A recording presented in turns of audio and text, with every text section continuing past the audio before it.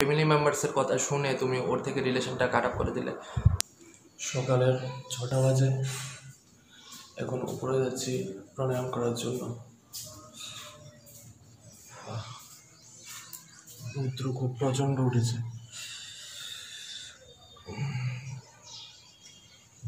এখানে বসে আমি প্রাণায়াম করব। দেখো সানরাইজটা খুব দারুণ হলো।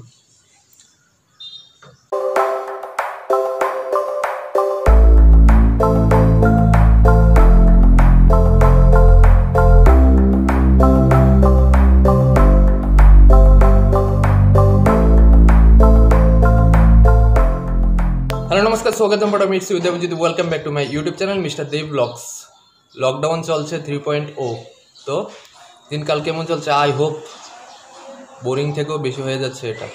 এখন তো আরও সেভেন্টিন মে অবধি ডেটটা বাড়িয়ে দিল। খুব বোরিং লাগছে।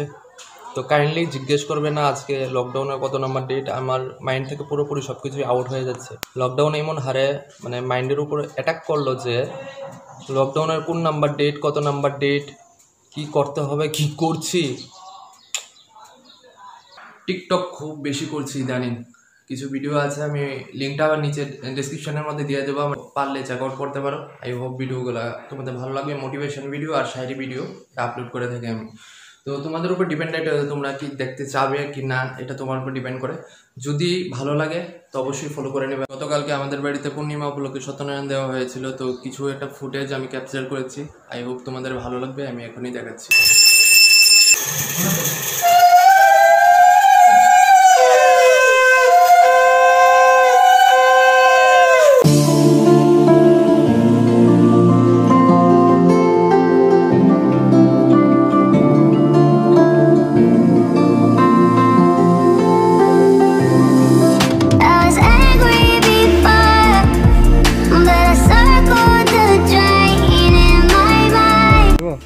দেখো হ্যান্ডশেক করতে আসবে। রবিন হ্যান্ডশেক হ্যান্ডশেক ওই দেখো ওই দেখো পাউটা কই তুলে রেখেছে? এই দেখো হ্যান্ডশেক আমি যতক্ষণ অব্দি হাতটা এখানে না দেবো হ্যান্ডশেক করছে।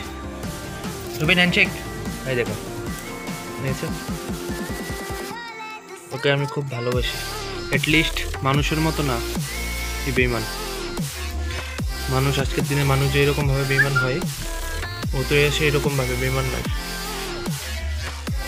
ওর কিছু যায় না। সারাদিন শুধু দুবেলা একটু ভাত খায় যতদিন অবধি ওর প্রাণটা থাকবে, ও সারা জীবন তোমার পাশেই থাকবে। চলো Robin go back to home back to home come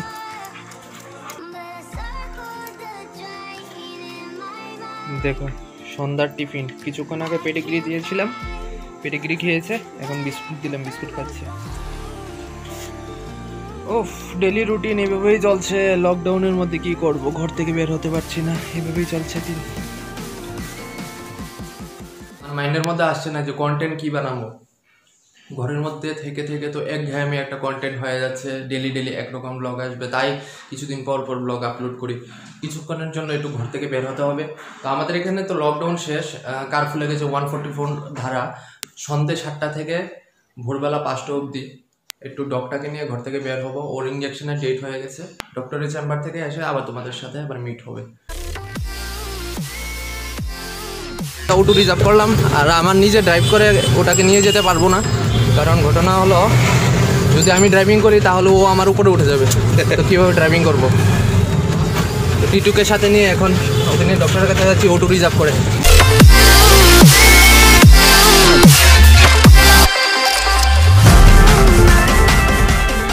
তিন তারিখ লকডাউন খোলার কথা ছিল।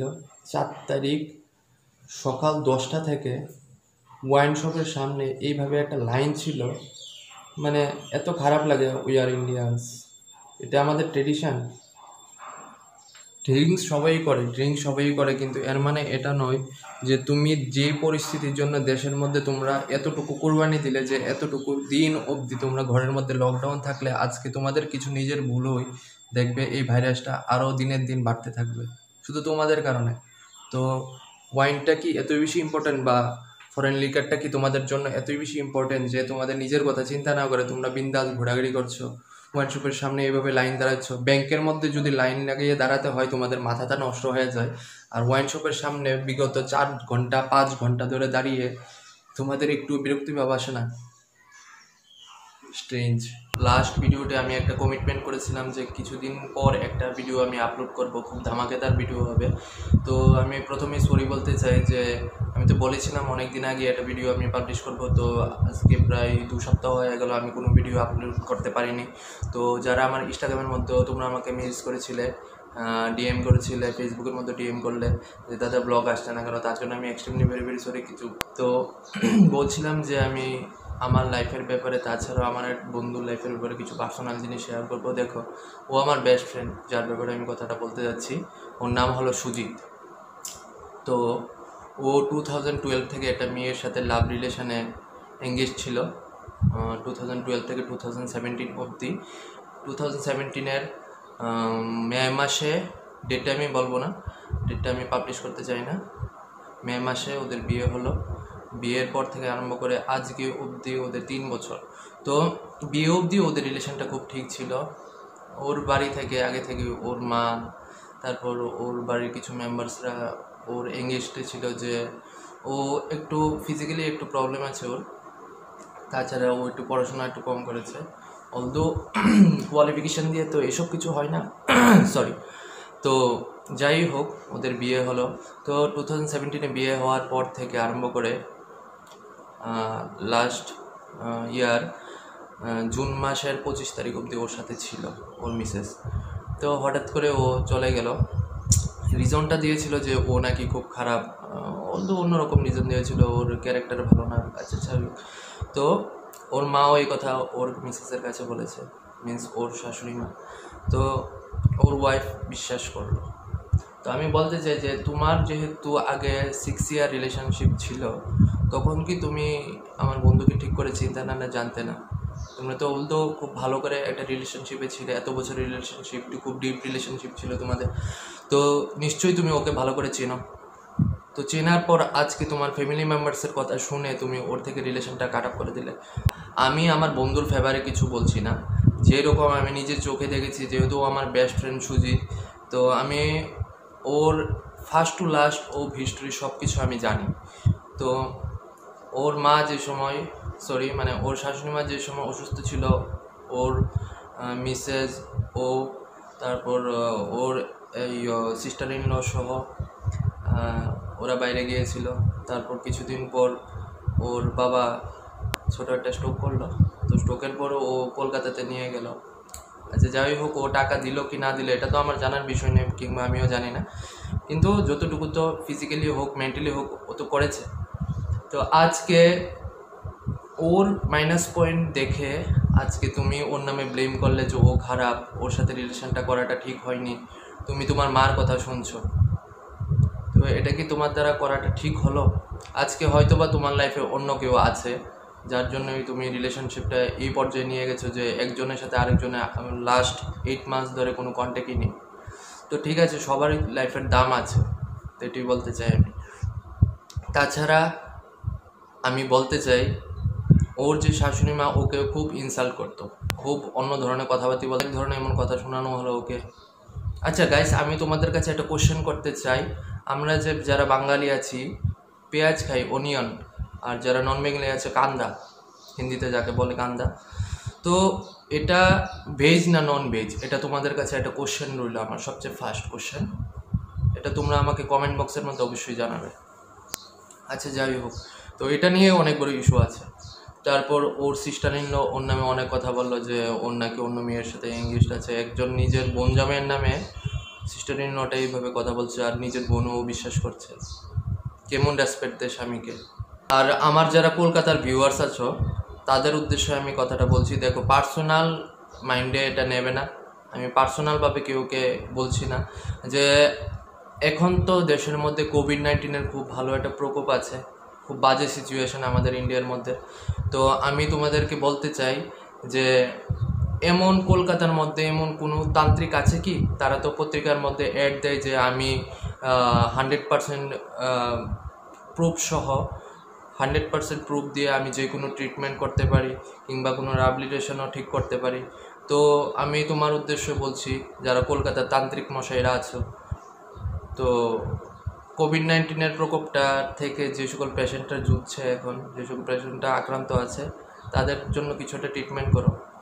আর কলকাতার মধ্যে কিছু এমন তান্ত্রিক আছে যারা পাথর বিক্রি করে। আর এমন এমন বলে, আমার বন্ধুর সাথে এমন হয়েছে, কলকাতার তান্ত্রিক আছে, আমি নামটা মেনশন করব না, এখন নাম বলাটা ঠিক হবে না, কারণ নামে আমি ব্লেম করতে চাই না। যারা আমার কথা অবিশ্বাস করছ, তারা আমাকে কাইন্ডলি ইনস্টাগ্রামের মধ্যে মেসেজ করবে। অথবা ফেসবুকের মধ্যে আমাকে ডিএম করতে পারো। ডিএম করলে আমি তোমাদেরকে with proof photo phone number কলকাতার যে তান্ত্রিকটা আছে, ওনার দিয়ে দেবো। উনি এই আমার বন্ধুর ওয়াইফকে বলেছেন যে, আমার বন্ধুর মধ্যে কিছু একটা প্রবলেম আছে, যার জন্য কিছু একটা ওদের মধ্যে মিস আন্ডারস্ট্যান্ডিং হবে বন্ডিং হবে না, তো ওর থেকে দূরে চলে আসাটাই ভালো। তো উনি বললেন, তো আমি ওনার উদ্দেশ্যেই বলছি, যদি আপনার এতই ক্যাপাসিটি থাকে, একটা কাজ করুন। দেশের মধ্যে যারা কোভিড নাইন্টিনের পেশেন্ট আছে, ওদেরকে ঠিক করে একটু দেখান, তখন আমি বিশ্বাস করব। আর পাথর বিক্রি করে কী লাভ? বয়স তো কম হয়নি আপনার। আর আপনার উদ্দেশ্যে একটা কথা বলতে চাই। এভাবে একটা লাইফটা আপনি নষ্ট করলেন, এটা আপনার দ্বারা করাটা ঠিক হয়নি। সুজিতের ওয়াইফ যে আছে, দেখো, তুমি তো আট বছর ওর সাথে প্রেম করেছ। ও নিশ্চয়ই তোমার সাথে আট বছর। কোনো না কোনো একটা রিলেশনশিপে ছিল। তারপর তোমার কিছু একটা এমন কিছু ছিল যার জন্য ও বলেছিল যে ও তোমাকে কোনোদিন ছেড়ে যাবে না। কিন্তু তারপরও তুমি আশা দিয়েছিলে যে ওর সাথে বিয়ে করবে। ঠিক আছে, তোমাদের বিয়ে হয়েছে টু থাউজেন্ড সেভেন্টিন থেকে। তোমার বাড়ির ফ্যামিলি মেম্বার্স দ্বারা কিন্তু ও বারবার ইনসাল্টেড হয়েছে। বারবার ইনসাল্টেড হয়েছে। বারবার তোমাকে বলেছে যে এমন এমন হচ্ছে। তারপর তুমি কোনো গর্জ করনি। তোমার বাড়ির ফ্যামিলি মেম্বার্সের জন্য অনেক কিছু করেছে ও। তারপর? তুমি কি করলে? কিছুদিন আগে হতো ইনস্ট্যান্ট কিছুদিন আগে হতো ও অনেক কিছু করে আসলো। কলকাতা গেলে না তোমরা? ভুলে গেছো? বাহ। ভালো। আপনাদের মতো ভণ্ডাবাটপার লোককে ওই সকল মেয়েরই বিশ্বাস করবে, যারাও আপনার মতো লুজার আপনার কিছু তন্ত্রমন্ত্র শক্তি আছে, যার দ্বারা সব কিছু ঠিক করতে পারবেন। একজন অসুস্থ মানুষকে আপনি ঠিক করতে পারবেন। ঠিক আছে, তাহলে আমার সাথে ওপেন চ্যালেঞ্জ ঠিক আছে ব্যাট লাগানো হোক। যদি আপনার কোভিড নাইন্টিনের প্রকোপ থেকে কিংবা একটা কোভিড নাইন্টিনের পেশেন্টকে যদি আপনি আপনার তন্ত্রমন্ত্র শক্তি কিংবা তারামার শক্তি দিয়ে আপনি ঠিক করতে পারেন, তো ঠিক আছে, ঠিক করুন। আমিও আছি ওপেন চ্যালেঞ্জ কেন? এখন শক্তি নেই। Tyre puncture? তো আমি তোমার নামটা পাবলিশ করব না, কারণ হলো তোমারও কিছু ফ্যামিলি আছে হয়তো বা এখন তুমি অন্য কেউর সাথে এঙ্গেজড আছো, তো শুধু শুধু তোমার নামটা বদনাম করে কী লাভ? বা তোমার ফ্যামিলির যারা আছে, দুজন, ওদের নামটা বদনাম করে কী লাভ? ঠিক আছে, তোমার নামটা নেব না, তোমার বাড়ির ফ্যামিলি মেম্বার্সের নামও নেব না। কিন্তু যা করেছ তোমরা সবাই মিলে খুব খারাপ করেছ। তো ঠিক আছে, এখন যেহেতু কোনো একটা ডিসিশন নিয়েছো, তোমরা দুজন আলাদা হয়ে যাবে, তো ভালোভাবে আলাদা হয়ে যাও পাকাভুক্ত হবে। কারণ ওরও লাইফের দাম আছে, তোমারও লাইফের দাম আছে। আজকে এইট মে। অ্যাকচুয়ালি আজকে আমার একজন আপন কাকাতো ভাইয়ের বিয়ের ডেট তো কোভিড নাইন্টিনের জন্য যেতেও পারব না। তো আমার গ্রামের বাড়িতে, আমার ভাইয়ের বাড়ি। তো উইশ করব হ্যাপি মেডিড লাইফ লকডাউনটা শেষ হলো, সবচেয়ে প্রথম কাজ হলো একটা ডিএসএলআর কিনবো আর একটা রিং লাইট কিনবো। কারণ রিং লাইট কেনার দরকারটা হলো টিকটকের মধ্যে যেসব ভিডিওগুলো করি, তো লাইকস আসে। তার জন্য একটু তোমাদের দিকটাও তো চিন্তা করতে হবে, তাই একটা রিং লাইট কেনার খুব ইচ্ছা আছে। তারপর একটা ল্যাপটপ কেনার ইচ্ছা আছে, কারণ মোবাইল দিয়ে তো এডিটিংটা করতে অনেকক্ষণ সময় লাগে, তাই একটা ল্যাপটপ কেনার ইচ্ছা আছে। তো আজকের ভিডিওটা তোমাদের এ পর্যন্তই থাক। যদি ভিডিওটা তোমাদের ভালো লাগে থাকে প্লিজ কিবে লাইক শেয়ার করবে সাবস্ক্রাইব করবে অবশ্যই আমার চ্যানেলটা do something for make your parents proud জয় হিন্দ, জয় ভারত।